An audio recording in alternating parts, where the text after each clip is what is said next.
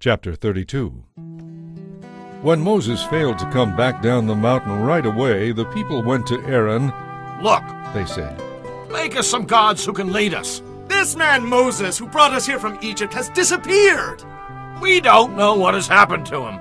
So Aaron said, Tell your wives and sons and daughters to take off their gold earrings and then bring them to me.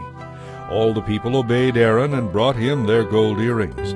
Then Aaron took the gold, melted it down, and molded and tooled it into the shape of a calf.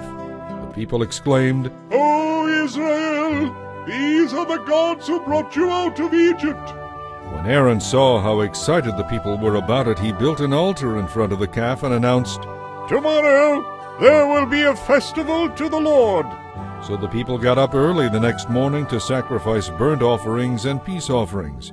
After this, they celebrated with feasting and drinking and indulged themselves in pagan revelry. Then the Lord told Moses, Quick, go down the mountain. The people you brought from Egypt have defiled themselves. They have already turned from the way I commanded them to live. They have made an idol shaped like a calf, and they have worshipped and sacrificed to it. They are saying, These are your gods, O Israel, who brought you out of Egypt. Then the Lord said, I have seen how stubborn and rebellious these people are. Now leave me alone so my anger can blaze against them and destroy them all. Then I will make you, Moses, into a great nation instead of them. But Moses pleaded with the Lord his God not to do it. O Lord, He exclaimed, why are you so angry with your own people, whom you brought from the land of Egypt with such great power and mighty acts? The Egyptians will say, God tricked them into coming to the mountain so he could kill them and wipe them from the face of the earth. Turn away from your fierce anger. Change your mind about this terrible disaster you are planning against your people. Remember your covenant with your servants, Abraham, Isaac, and Jacob.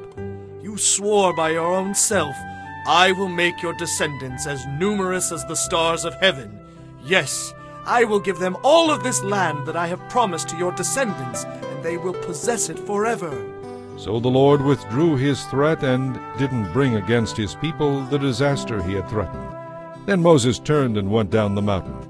He held in his hands the two stone tablets inscribed with the terms of the covenant.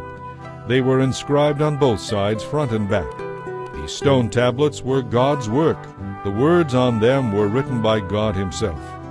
When Joshua heard the noise of the people shouting below them, he exclaimed to Moses, It sounds as if there is a war in the camp. But Moses replied, No, it's neither a cry of victory nor a cry of defeat. It is the sound of a celebration. When they came near the camp, Moses saw the calf and the dancing.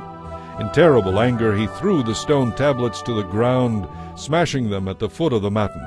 He took the calf they had made and melted it in the fire. And when the metal had cooked, he ground it into powder and mixed it with water. Then he made the people drink it.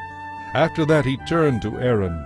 What did the people do to you? He demanded, How did they ever make you bring such terrible sin upon them? Don't get upset, sir. Aaron replied.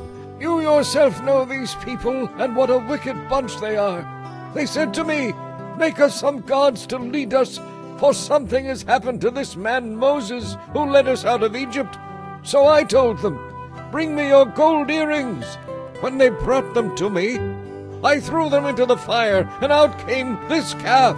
When Moses saw that Aaron had let the people get completely out of control, and much to the amusement of their enemies, he stood at the entrance to the camp and shouted, All of you who are on the Lord's side, come over here and join me. and all the Levites came. He told them, This is what the Lord, the God of Israel, says Strap on your swords. Go back and forth from one end of the camp to the other, killing even your brothers, friends, and neighbors. The Levites obeyed Moses, and about 3,000 people died that day. Then Moses told the Levites, Today you have been ordained for the service of the Lord, for you obeyed him even though it meant killing your own sons and brothers. Because of this, he will now give you a great blessing. The next day Moses said to the people, You have committed a terrible sin, but I will return to the Lord on the mountain. Perhaps I will be able to obtain forgiveness for you. So Moses returned to the Lord and said, Alas, these people have committed a terrible sin. They have made gods of gold for themselves.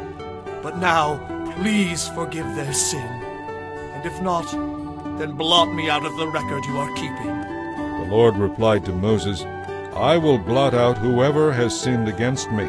Now go, lead the people to the place I told you about. Look, my angel will lead the way before you.